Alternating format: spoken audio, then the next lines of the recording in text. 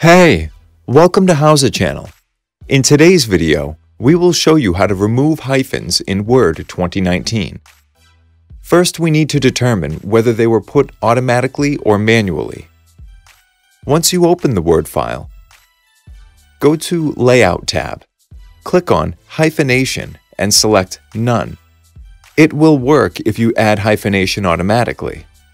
If you add hyphenation manually, you can delete it also manually. If you have a document with a lot of pages, you can do it another way. Go to Home tab and choose Replace. Click on More in the new window. Click on Special. Choose Optional Hyphen. Click on Replace All. Click OK. Thanks for watching the video.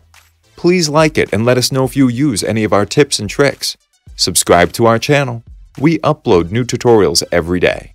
See ya!